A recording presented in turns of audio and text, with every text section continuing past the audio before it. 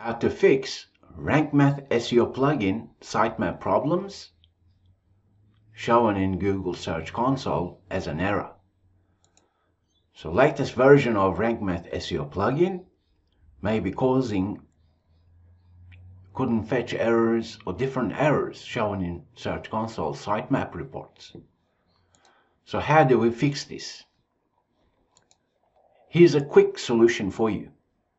When you log into your WordPress dashboard, RankMath SEO, sitemap settings, the default is 200. You can decrease that to 100 and save changes. Because as we can see, this sitemap contains 200 URLs. If you're on a shared server, especially, that may cause problems with Search Console. Here's why. Let's press on Control U on our keyboard. When we say 200 URLs, that's what the URL looks like in a sitemap. So Google looks at that. But depending on type of WordPress site that you have, you may have lots of images within the sitemap. As we can see, there's three, four. So if you're operating e-commerce especially, then 200 URLs per sitemap may cause this problem.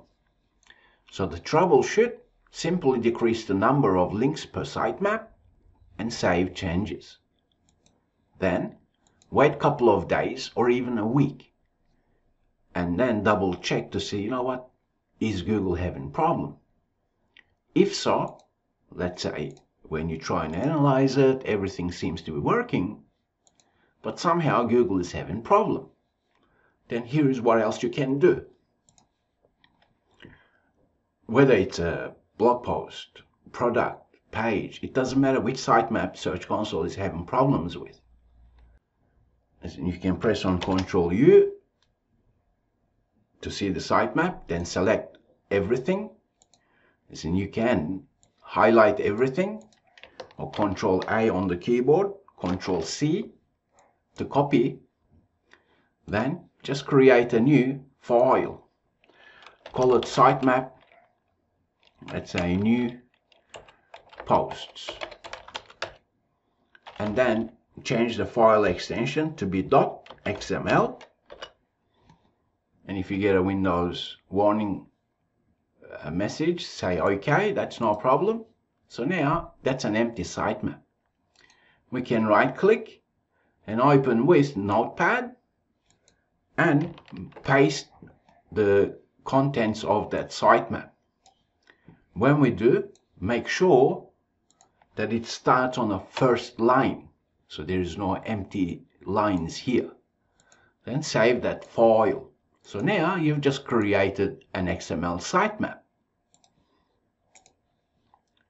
Next, on your web server, you can press on File Manager, go to public underscore HTML, and upload that file you've just created.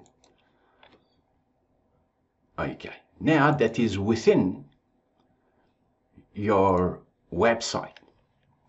Now you can submit that to Search Console. So add a new sitemap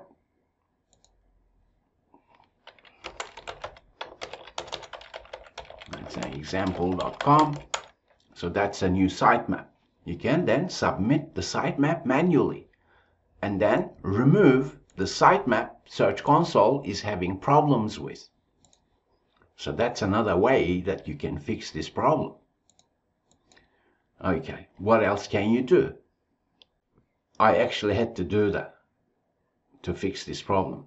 Reason being, 2025 version of RankMath SEO plugin is causing fatal errors because they have a memory leak. So therefore, when the sitemap tries to render, it is actually causing performance issues. So that's what Googlebot may be actually seeing. Before I close up, let me share with you the best practices. You should not be submitting this sitemap to Search Console. This is called a parent sitemap. which contains all the other sitemaps. Instead, you should submit posts, pages, and for WooCommerce, product sitemap. Also, within robots.txt file, there you can provide the link to your new sitemap or any sitemap that you're using. Because then Google can better understand your website. As you know, 2025 Google Ranking World is changing. I've created tutorials for using and setting up RankMath SEO plugin that you should definitely check out.